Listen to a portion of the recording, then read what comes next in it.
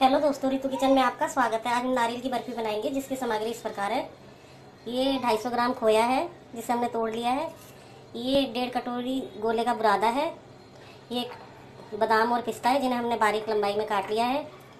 ये चीनी को हमने पीस लिया बुरा बना के। एक कटोरी चीनी है, ये इलायची पाउडर है, ये देसी घी है।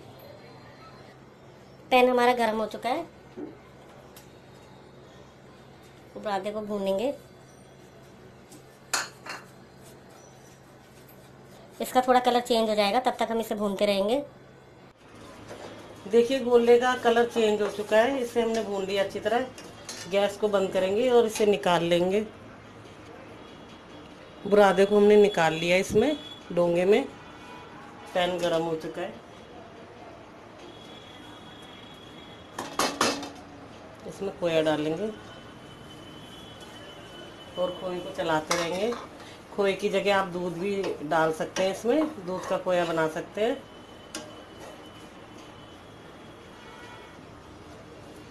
खोए को भी हमने भून लिया है। इसमें आधा चम्मच, बड़ा आधा चम्मच इलायची पाउडर डालेंगे, ऑप्शनल है ये। अगर आपको इलायची फ्लेवर पसंद हो तो आप डाल सकते हैं।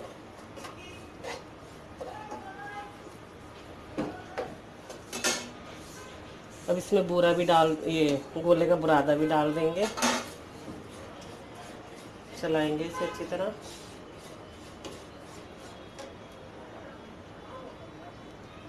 बूरा भी डाल देंगे। मीठा आप अपने हिसाब से रख सकते हैं।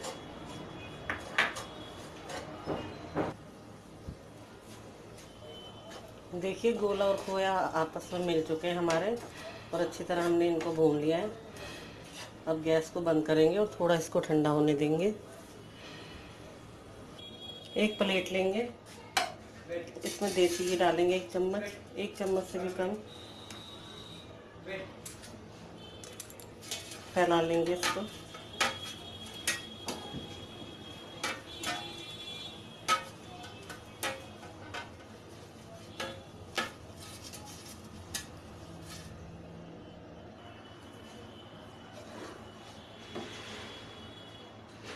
इसमें डालेंगे अब इसको।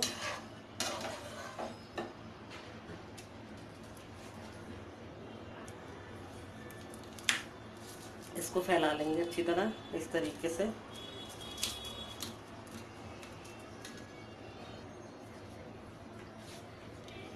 इस तरीके से हमने इसको दबा दिया है।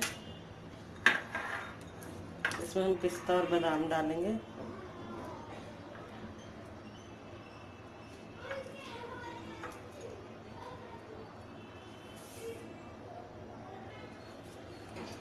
इस तरीके से दबा देंगे इनको।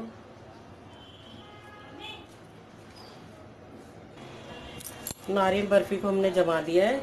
इसमें हम चक्कू से कट लगा देंगे।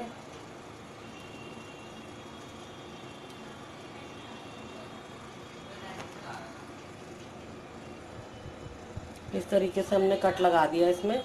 इसको जमाएँगे हम एक घंटा।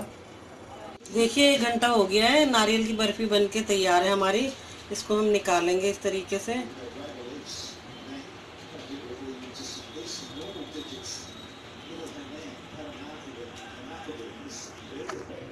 देखिए, नारियल की बर्फ़ी बनके तैयार है हमारी। अगर आपको मेरी रेसिपी पसंद आई हो तो लाइक करें शेयर करें सब्सक्राइब करें बेल का बटन दबाएँ। Thank you